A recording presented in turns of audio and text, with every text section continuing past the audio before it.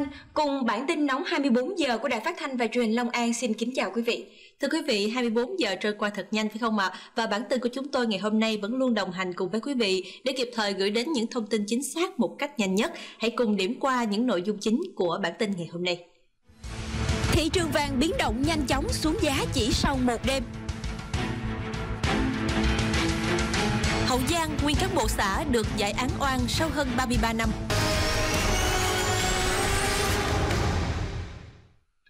Vị, chưa bao giờ giá vàng lại có những biến động khó lường như hiện nay. Nếu ngày hôm qua vàng bỗng nhảy vọt từ 47 triệu lên 49 triệu đồng một lượng, thì chỉ sau một đêm giá vàng hôm nay đã rớt giá về lại mức 46 đến 47 triệu đồng một lượng. Mức chênh lệch giữa giá bán ra và giá mua vào khoảng 700 đến 1 triệu đồng một lượng đã khiến người dân e ngại đổ xô đi bán vàng. Đến sáng nay ngày 25 tháng 2, giá vàng giảm mạnh hơn 1 triệu đồng một lượng so với chiều qua. Lúc 11 giờ 30 phút, giá vàng đứng im như mức niêm yết lúc đầu, giờ mở cửa phiên cùng ngày. Cụ thể, giá vàng miếng SCJ niêm yết mức bán ra là 47 triệu 500 ngàn đồng một lượng, mua vào 46 triệu 500 ngàn đồng một lượng. Tập đoàn Doji công bố giá mua vào vàng miếng SCJ 46,3 triệu đồng một lượng, còn bán ra là 47 triệu đồng một lượng. Trước sự biến động này tại nhiều cửa hàng kinh doanh vàng, người dân đã đổ xô nhau đi bán vàng vì sợ thua lỗ. Tuy nhiên, theo các chuyên gia tài chính, người dân trong nước hết sức bình tĩnh khi có quyết định đầu tư vào vàng lúc này vì rất rủi ro. Vàng không còn được xem là kênh trú ẩn an toàn cho tiền nhãn rồi nữa. Việc gửi tiết kiệm bằng tiền đồng cũng nên tính tới trong lúc này. Thưa quý vị, đây là ông Nguyễn Hoàng Việt, từng là cán bộ xã nhưng lại bị bắt giam và điều tra về hành vi gian lận buôn bán hàng giả. Vụ án kéo dài đến nay đã hơn 33 năm mới được làm sáng tỏ. Có thể nói cuộc sống của ông Việt rơi vào bóng tối. Và sáng nay tại trụ sở Ủy ban Nhân dân xã Tân Bình, huyện Phụng Hiệp, tỉnh Hậu Giang, Viện Kiểm sát Nhân dân huyện đã tổ chức buổi xin lỗi và cải chính công khai đối với ông. Quý vị hãy cùng với chúng tôi xem lại quá trình 33 năm mà ông Việt đi kêu oan cho chính mình ngay sau đây.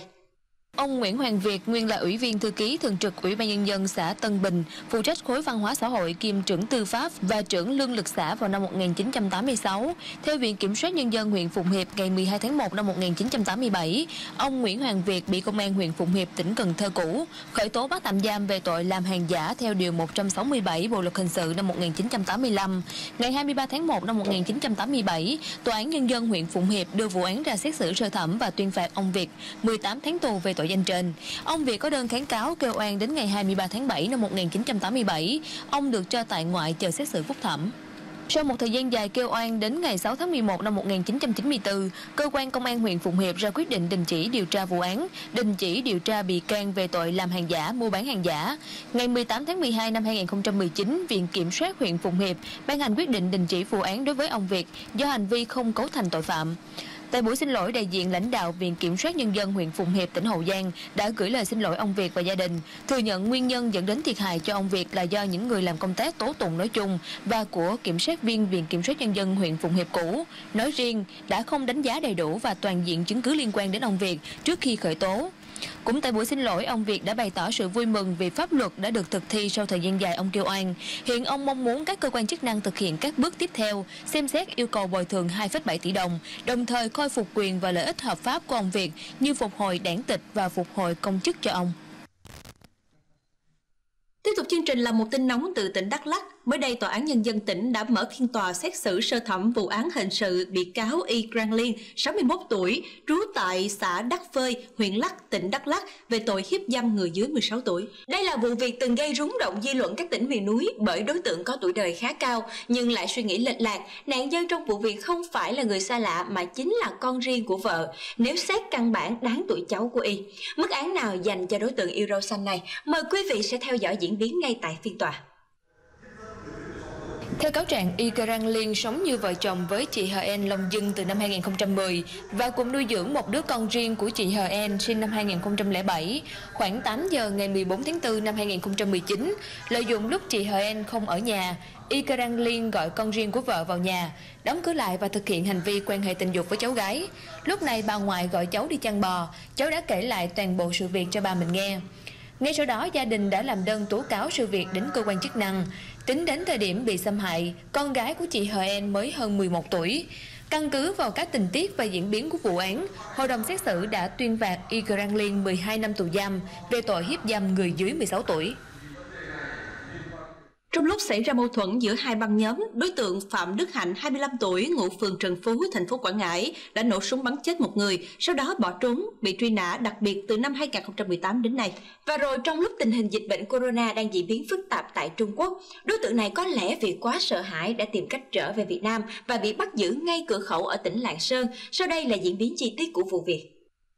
Trước đó vào khoảng tháng 2 năm 2018, tại nhà hàng Tigon ở phường Chánh Lộ, thành phố Quảng Ngãi, Võ Thành Thái 29 tuổi ngụ phường Trần Hưng Đạo, thành phố Quảng Ngãi, với nhóm của Đỗ Văn Tèo, còn gọi là Tèo V ở phường Chánh Lộ, thành phố Quảng Ngãi, Lê Hồng Võ còn gọi là Đen 36 tuổi, chủ nhà hàng Tigon và một số đối tượng khác đã xảy ra mâu thuẫn.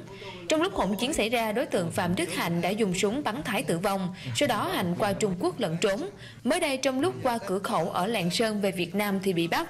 Vụ việc đang được cơ quan cảnh sát điều tra công an tỉnh điều tra mở rộng. Mặc dù đã chủ động đề cao cảnh giác trong việc bảo vệ tài sản của gia đình, không những khóa cửa, một gia chủ tại Bình Phước còn cẩn trọng hơn bằng cách khóa cổ từng chiếc xe trong nhà rồi mới yên tâm đi ngủ. ấy vậy mà sự trớ trêu vẫn diễn ra. Vâng, chỉ sau một đêm, gia tài ba chiếc xe máy của gia đình đã không cánh mà bay trong sự khó hiểu của chính chủ nhà. Không hiểu vì sao các đạo chích vẫn có thể ra tay.